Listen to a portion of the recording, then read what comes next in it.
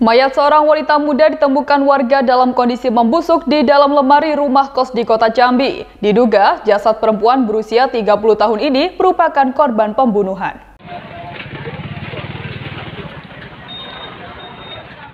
Penemuan mayat wanita di dalam lemari di sebuah rumah kos di Kembar, Kelurahan Pakuan Baru, Kecamatan Jambi Selatan, Kota Jambi pada Rabu malam 25 September 2024 membuat geger warga sekitar.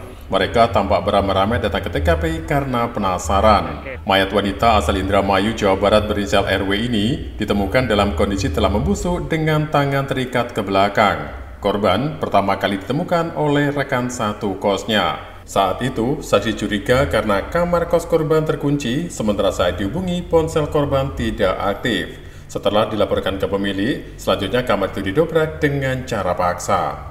Kecurigaan berlanjut setelah lemari korban diperiksa dan melihat di atas tumpukan kain dalam lemari itu RW sudah dalam kondisi tak bernyawa. Kasubit Penmas Humas Polda Jambi, Kompol Amin Astion mengatakan, mayat wanita di dalam lemari ini diduga jadi korban pembunuhan. Untuk sementara itu kita duga korban pembunuhan. Karena mengingat dari kejadian, tempat kejadian dan termasuk pada saat ditemukannya korban itu dalam kondisi tidak wajar. Hmm. Sehingga untuk sementara kita melakukan dalam melakukan penyelidikan ini kita duga dalam kasus pembunuhan.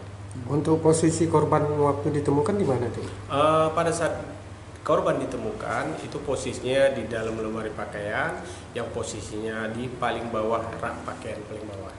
Ada barang-barang hilang? Ini pembunuhan dengan pencurian atau gimana? Uh, untuk sementara masih dalam proses penyelidikan kita belum tahu apakah barang korban ada yang hilang yang diambil oleh pelaku itu masih dalam proses penyelidikan. Korban ini adalah ngekos di uh, kosan Pak Nuron dugaan pelaku uh, dugaan pelaku kita masih dalam masih dalami menyangkut dengan uh, kita masih memeriksa saksi-saksi juga.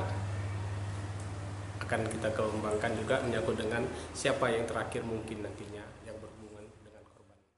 Jasad korban ini diperkirakan telah meninggal dunia sejak empat hari lalu. Usai mendatangi lokasi dan melakukan olah TKP, polisi kemudian bawa jasad RW ke Rumah Sakit Bayangkara Jambi untuk dilakukan visum. Dari kota Jambi, Eko Wijaya, Nasional TV melaporkan.